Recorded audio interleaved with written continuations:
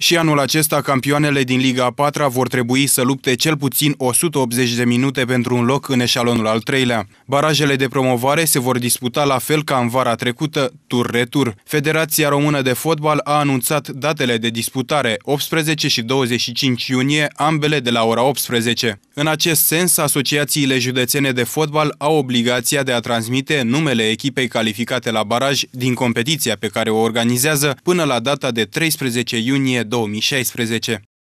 Este al doilea an consecutiv când uh, se promovează acest sistem de promovare în Liga 3 deci e de jucătură retur, în sensul că a dat șanse egale fie, fiecare echipe de, de a accede mai departe într-un eșalon uh, superior.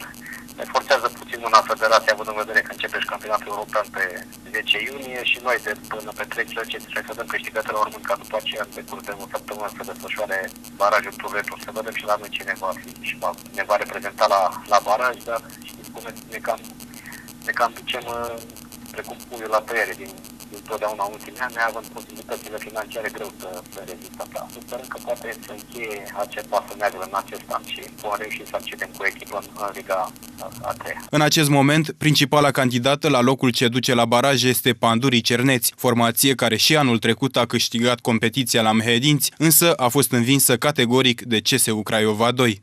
Președintele forului județean spune că lupta este deschisă deoarece nu e o diferență prea mare între primele trei clasate.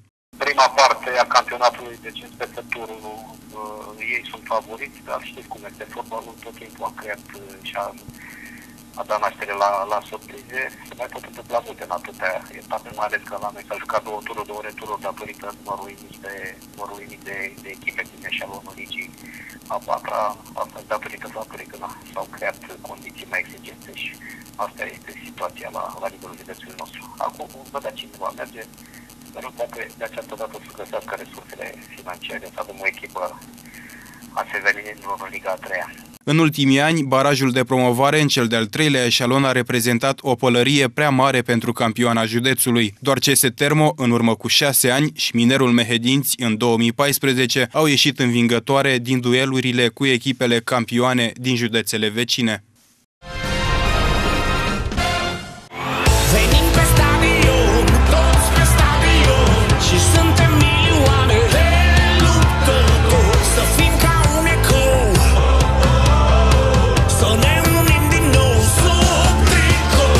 Federația Română de Fotbal, prin intermediul asociațiilor județene, vine în sprijinul suporterilor care vor să-și achiziționeze bilete la meciurile tricolorilor de la campionatul european din Franța. Pentru județul Mehedinți au fost repartizate patru tichete. E o surpriză plăcută pentru asociațiile județene de fotbal. Se pare că mai mari fotbalul românesc ne-au băgat și pe noi în seamă. Fiecare asociație județene a fost repartizat un număr de patru bilete la meciurile din grupă, respectiv România-Franța din 6 a 6, România-Elveția din 15 a 6 și Albania-România din 11 a 6. Prețurile variază în funcție de categoria și amplasamentul în stadion, de la 595 de euro la 25 de, de euro, vorba de grupă. După aceea, odată cu accederea în fazele superioare ale competiției, mai cresc și, și prețul. Amatorii au timp foarte scurt să, să solicite aceste, aceste bilete, mai le stăm la, la dispoziție.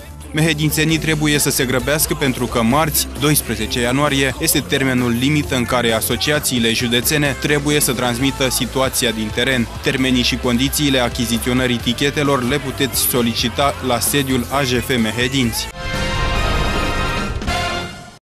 Pandurii ar putea să-și piardă unul din cei mai buni jucători din linia defensivă. Steaua și-a manifestat interesul pentru Momcilovici, care se află cu gorjenii în ultimul an de contract. Acest lucru îi poate face pe oficialii celor de la Pandurii să-l transfere din această iarnă. Narcis Răducan a vorbit despre această posibilitate. Există o discuție cu Steaua pentru Momcilovici. Am avut o discuție cu el și cu agentul jucătorului, dar el este un jucător de bază la Pandurii. Dacă îi dăm drumul, trebuie să aducem un jucător de calibrul lui și e greu de găsit așa repede. Nu sunt așa sigur că ne vom despărți, dar la fotbal nu se știe niciodată. La el e o discuție pentru că se află în ultimul an de contract. Avem varianta să lăsăm să plece acum pentru bani sau ne folosim de el până în vară și apoi îl dăm gratis a spus Narcis Răducan la un post de televiziune central. Suma pe care vrea să o plătească Becali pentru Momcilovici este de 150.000 de euro.